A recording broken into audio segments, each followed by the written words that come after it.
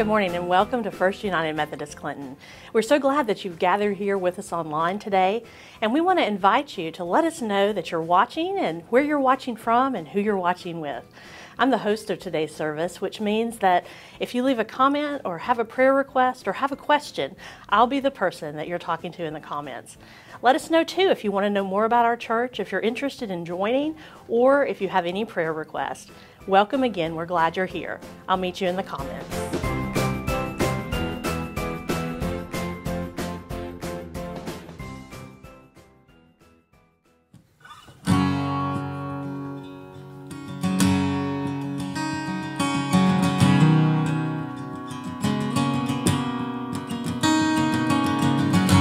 There are walls between us. By the cross, you came and broke them down. You broke them down. There were chains around us. By your grace, we are no longer bound. No longer bound. You called me out of the grave. Called me into the light. You called my name, and then my heart came alive.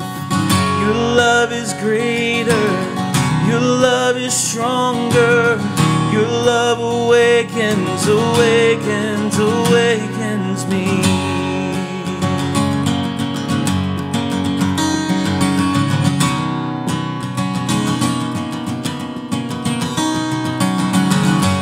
Feel darkness shaking, all the dead are coming back to life, back to life.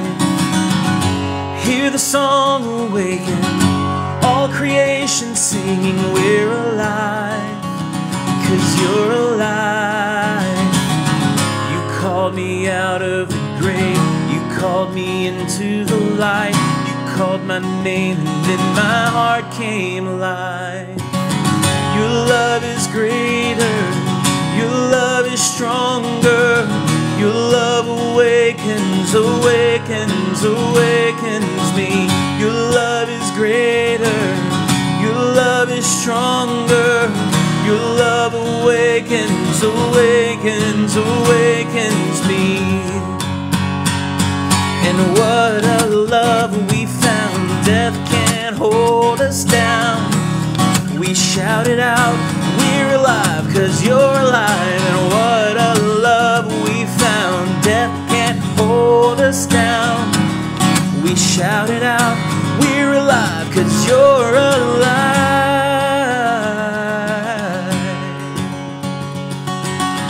Your love is greater, your love is stronger, your love awakens, awakens, awakens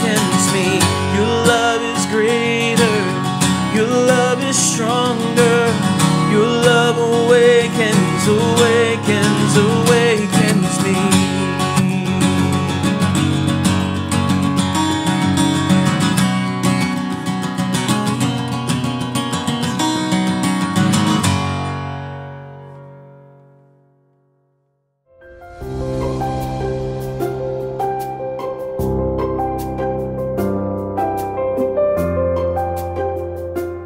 friends, it's good to see you today, and so glad that you've joined us for worship. And uh, before we get on with our service, we have a really special thing to share, and that's some people who've joined our church and who are joining today. Last week, John and Diana Speed joined our church during the 9 a.m. service, and we're so grateful to have John and Diana as part of our worshiping community and grateful to have them um, join us on our journey of faith together here at First United Methodist. Welcome, John and Diana. Uh, also, today we are excited to receive into membership Brittany Mitchell. Uh, Brittany has been worshiping with us and is part of our online worshiping community now, and we are grateful to have her and grateful that she is connected with us and has stayed connected in our online community. And so we are receiving her by transferring of her membership and so excited to welcome her. So, welcome, Brittany. Thank you for joining, and thanks for saying yes to following Jesus here at First United Methodist. And so, friends, if you're out there and you're considering to whether or not you should make that next step of faith, to, to make one step on your journey of discipleship, we would love to have you join. If If you're interested in membership, you see how easy it is. It's just a matter of saying yes and being welcomed into the family. So if you're interested, why don't you type in the comments below or send a direct message to the church. And uh, Pastor Sharonda is on there right now, and she'll be able to respond to you. We'd love to talk to you about membership. We'd love to talk to you about your next step in faith. In fact, today we're talking about everyone's next step in faith. All throughout the month of October, we are looking at resetting our face on Jesus of renewing our minds in Christ. And today we're continuing by looking at God's call for us to be reconciled, to be forgiving and being forgiven, to live into God's call to be ministers of reconciliation. So today, we're going to be honest with each other about how sometimes we don't really want reconciliation. But in spite of that, God calls us to live out our new life by being reconciled to Him and to each other. So, thanks for being with us, and thanks for opening yourself to the opportunity and the possibility of being reconciled and made new. Welcome.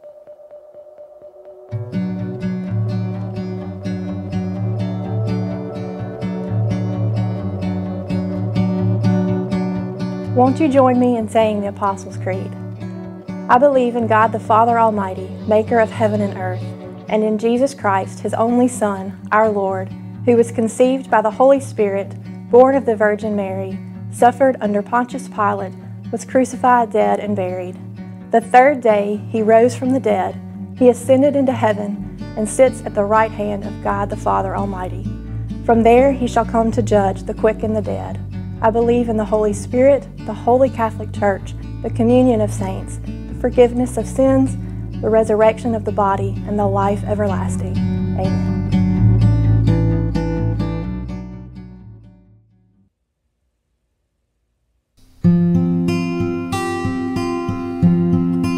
When I see the sunrise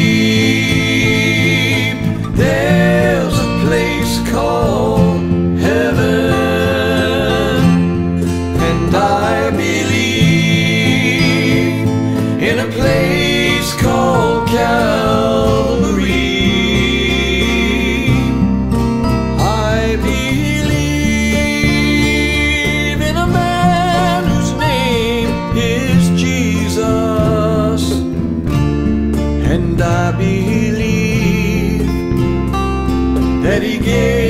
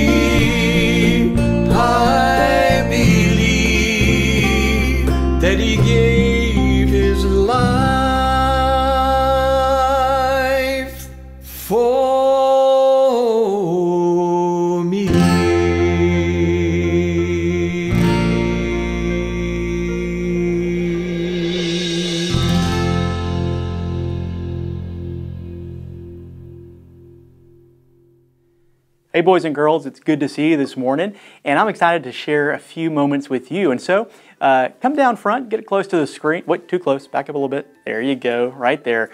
And uh, I'm excited to be sharing with you this morning uh, about a really, really important topic and a pretty long word that we're going to learn together. Thanks for being with us.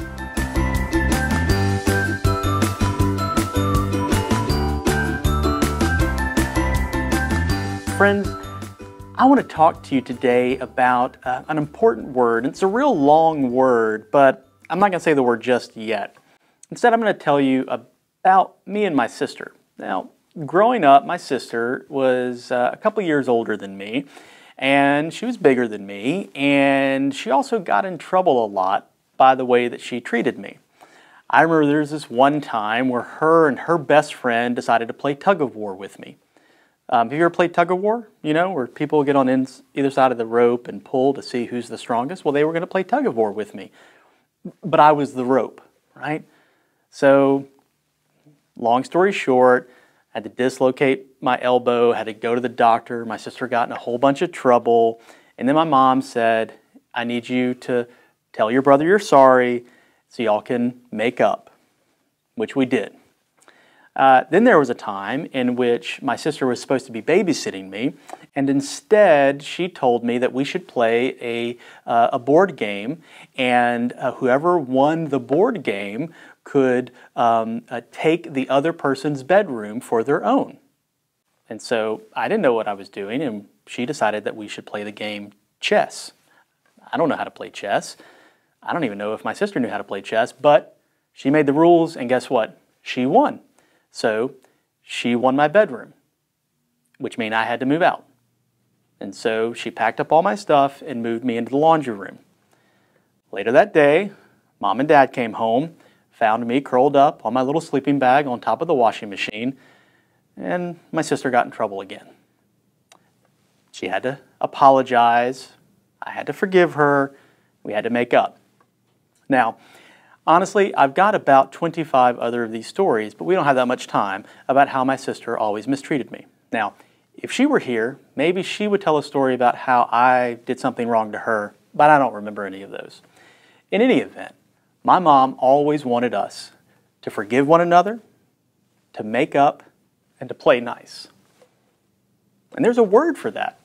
It's a, a word in the Bible. That's our long word. Are you ready for it? Reconciliation. Can you say that?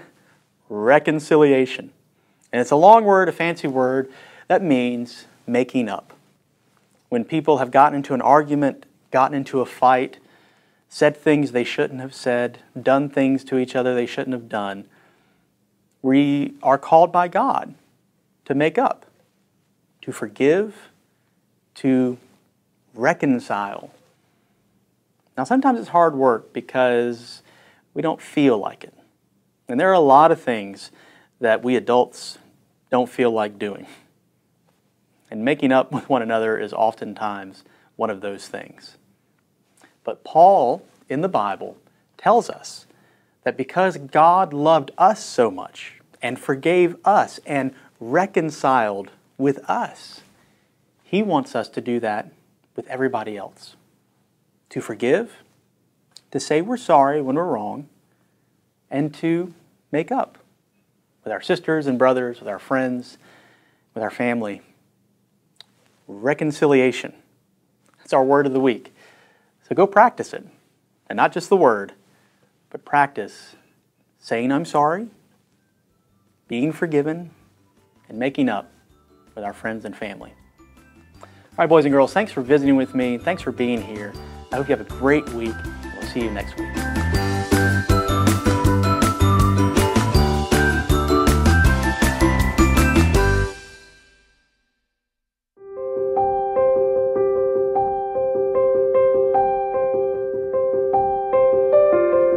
Join me in the Lord's Prayer? Our Father, who art in heaven, hallowed be thy name. Thy kingdom come, thy will be done, on earth as it is in heaven. Give us today our daily bread, and forgive us of our trespasses, as we forgive those who trespass against us.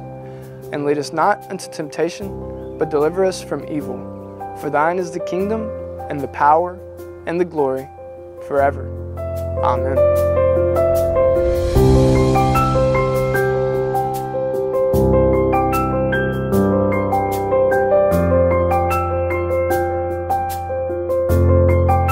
Want you to think of somebody in your life who has mistreated you. Someone who's done you wrong. Someone who's maybe said something that wasn't true about you. Someone who's mistreated you. Someone maybe that let you down.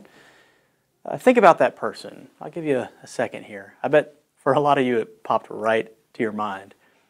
Maybe it's a family member. Maybe it's a, a coworker. Maybe it's a best friend who you've had a falling out with and you haven't spoken to for years. Are you thinking about that person? Now, let me ask you what would it take for you to forgive them? What would it take for you to be reconciled with that person? That person who the very thought of them right now makes you angry. What would it take to be reconciled again? Would it take an act of God? Well, if so, the good news is that is exactly what we're going to be asking for today. For God to show us the power and the importance of reconciliation. Now, I think we all have people in our lives that have wronged us, and without a doubt, we have probably uh, wronged other people. None of us is immune. Now, some of those people may have hurt us on purpose, but honestly, most often it is an accident, right? Uh, we forget about something. It's uh, a simple mistake, an honest mistake. We forget someone's birthday. We neglect to tell someone um, uh, that we're thinking of them or call when they're sick, and they get their feelings hurt, and we get our feelings hurt. And, and sometimes weeks, months, years go by, we can't even really remember what happened. Or maybe we promised to do something for somebody and we dropped the ball, and now they're disappointed with us and they don't trust us anymore, or vice versa. I think a lot of our personal conflicts arise out of honest mistakes. People seeing things differently, having different opinions, different beliefs. And they can be honest disagreements or honest mistakes because we are all human, right? All of us. And when things start to get personal, we get defensive. We begin to hurl insults back because we want them to feel as bad as they've made us feel. Before we know it, things get out of hand and that that anger comes back and we we don't know what to do with that. It's only human to have those responses. It's only human to fall into those situations. It's only human to have these conflicts. But the thing is, because it's only human, that's exactly what God wants to address when He calls us to reconciliation. In our scripture passage today, we're going to read from the Apostle Paul, his second letter to the Corinthians. And I want to read this section, just a few verses from chapter 5 verses 16 through 19. From now on, therefore, we regard no one from a human point of view. Even though we once knew Christ from a human point of view, we know him no longer in that way. So, if anyone is in Christ, there is a new creation. Everything old has passed away. See, everything has become new. All this is from God who reconciled us to himself through Christ and has given us the ministry of reconciliation. That is, in Christ, God was reconciling the world to himself, not counting their trespasses against them, and entrusting the message of reconciliation to us.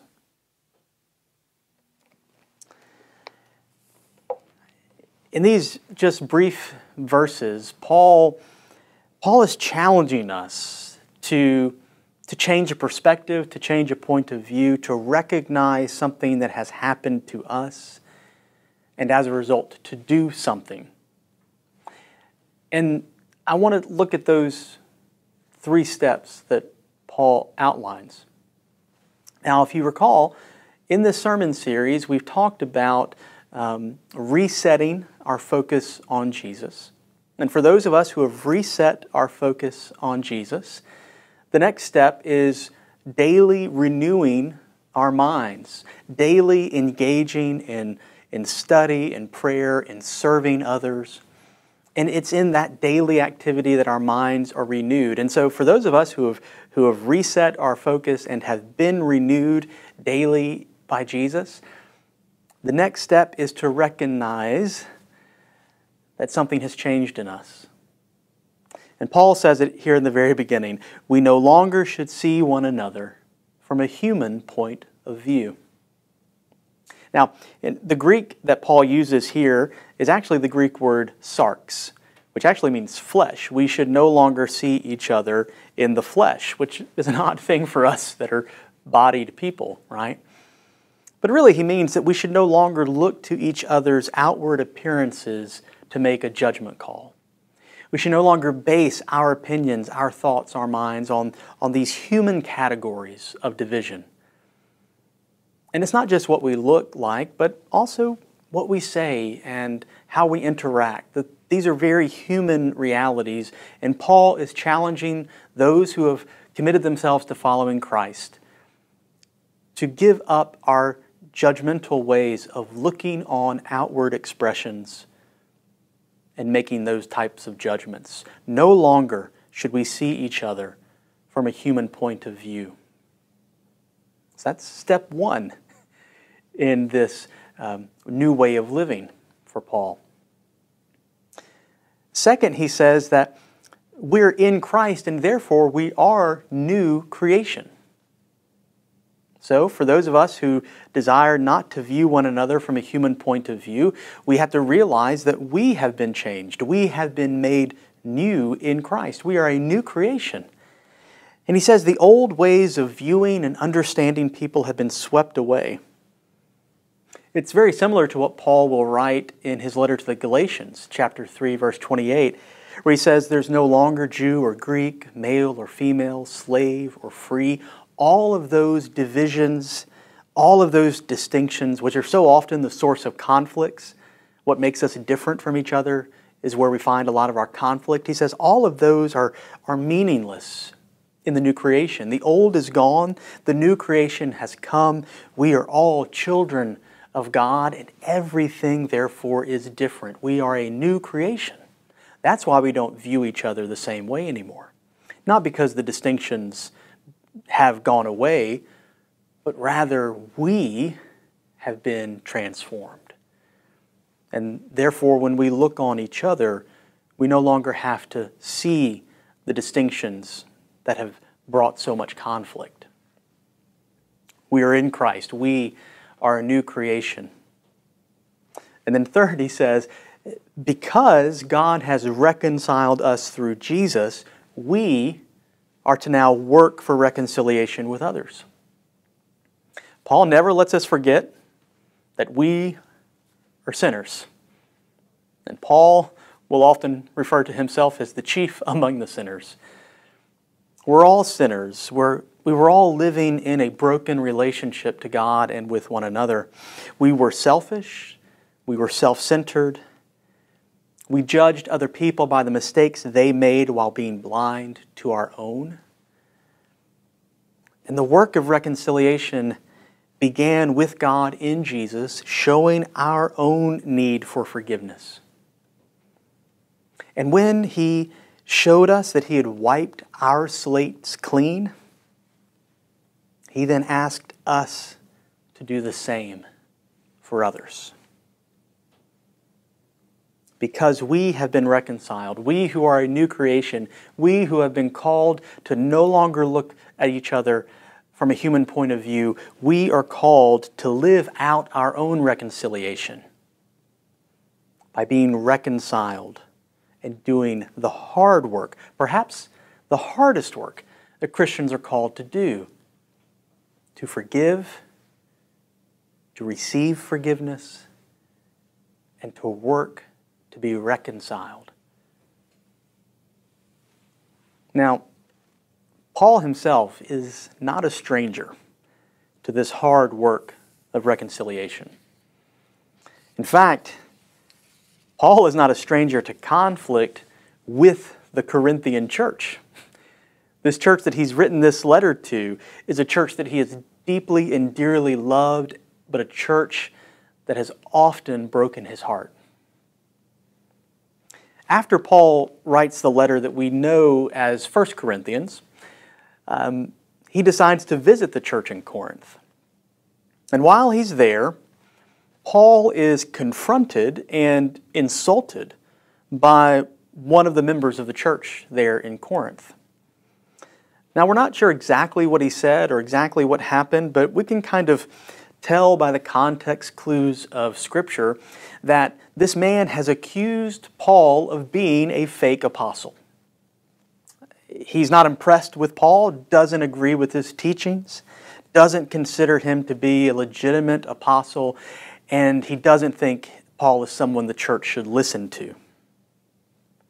Now, Paul is not unfamiliar with this line of attack. He got it often around the Mediterranean world as, as people cast doubt on Paul, and he would often have to defend himself. But what hurts in this setting and what breaks Paul's heart is that when this happens in Corinth, none of the other church members, none of the other leaders speak up to defend Paul.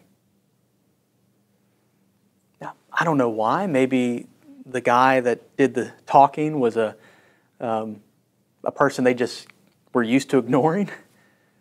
Maybe they were scared that this guy would then turn on them. Or, like a lot of churches, they just said nothing because we like everything to be peaceful and sweep everything under the rug. But for whatever reason, they don't speak up to defend Paul and Paul is heartbroken.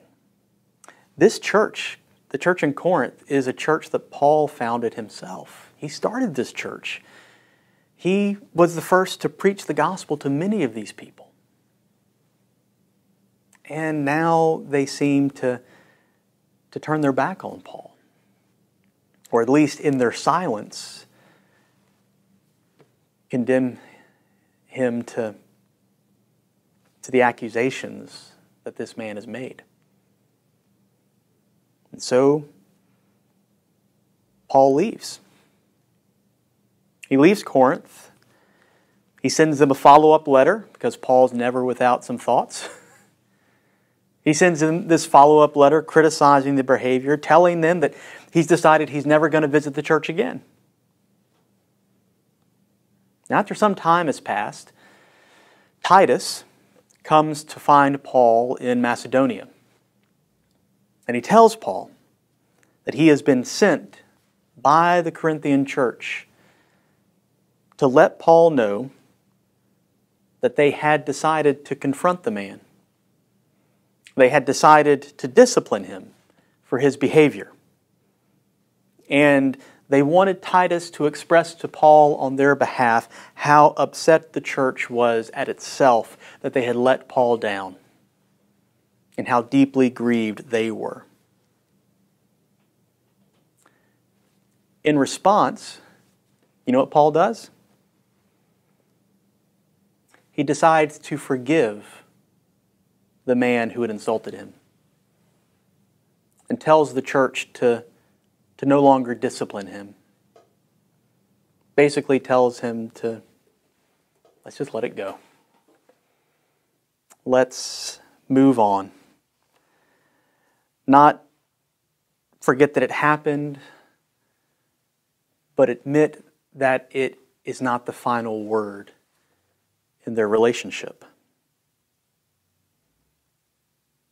He writes what we now know as the second letter to the Corinthians, where he expresses all of these desires to reconcile and to be a forgiving person and calls the church in Corinth to reconcile with the man as well.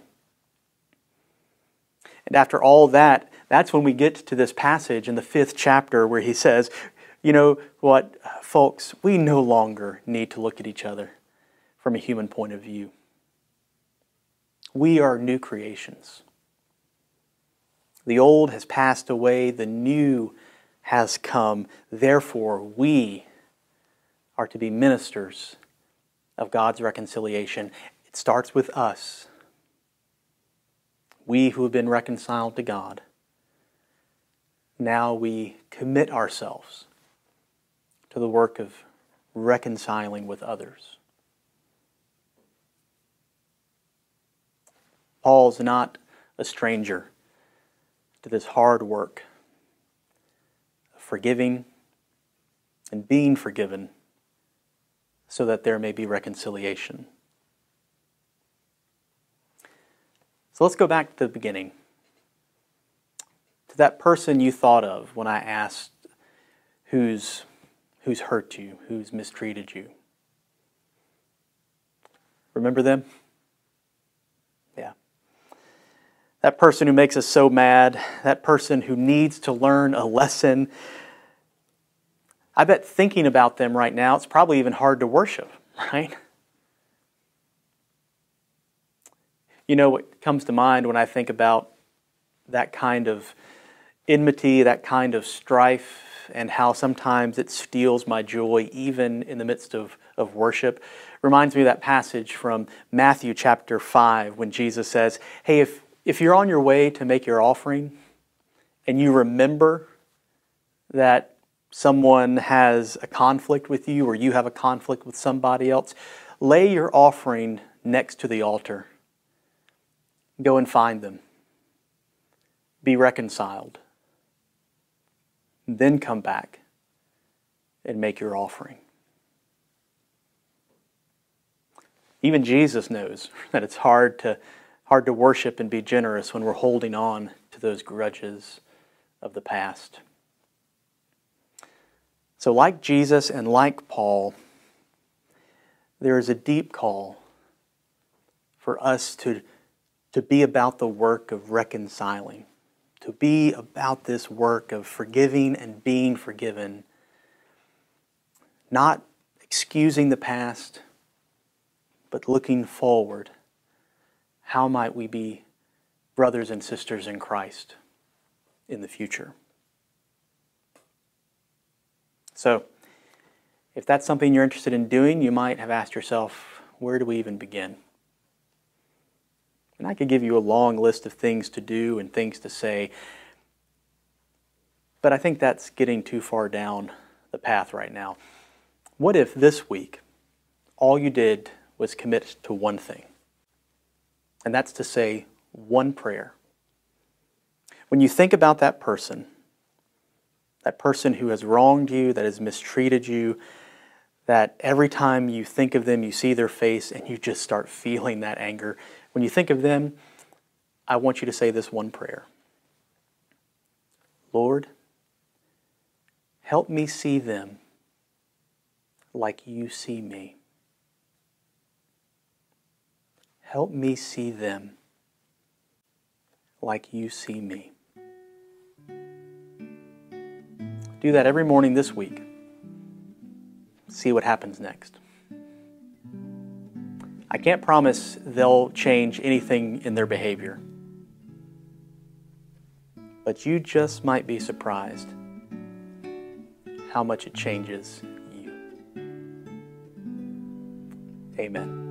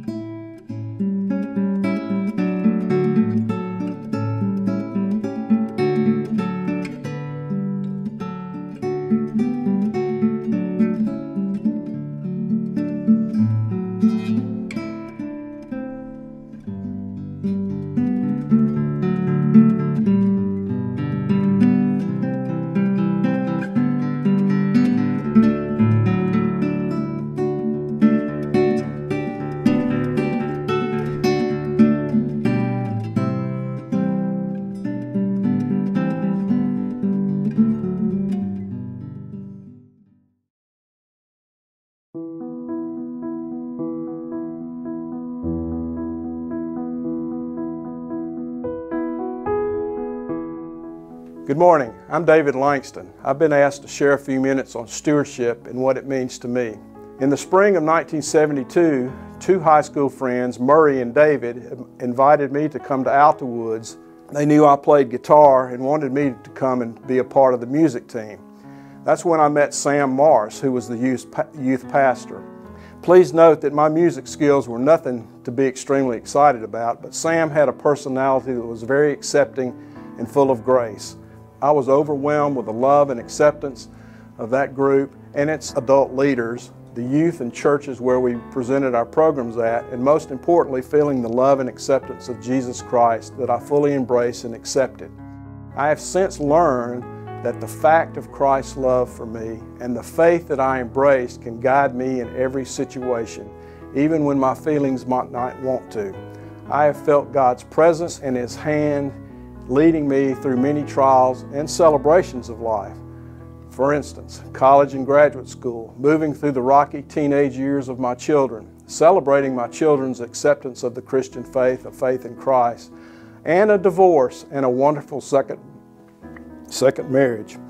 A tragic death of a dear friend, the death of my parents, the birth of our grandchildren, a broken and or a strange friendship, and reconciliation on the other side.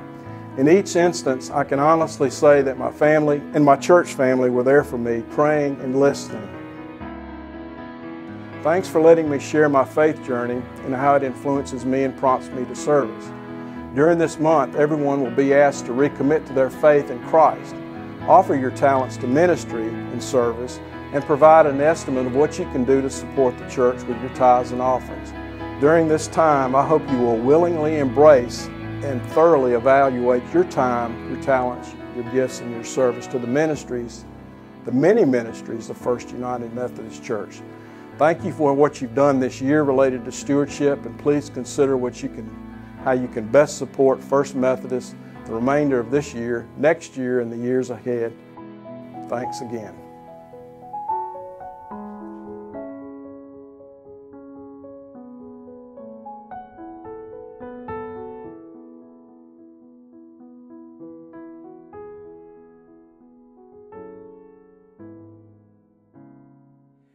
Friends, this past week at our church was just an amazing outpouring of generosity. When I look back on our garage sale and all the volunteers who gave of their time, all the people who came and shopped and got great deals, uh, and because of their generosity are uh, we're able to do more in our missions program. I think of all of you who donated all of that stuff. Thank you for your generous gifts of your treasure. I also think of our blood drive. Uh, just a another generous outpouring of, of support and love and care for Beverly Yates and her family.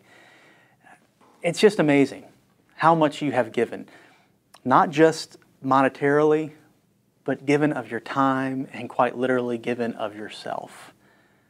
So, all I really get to say today is thank you and keep up the good work.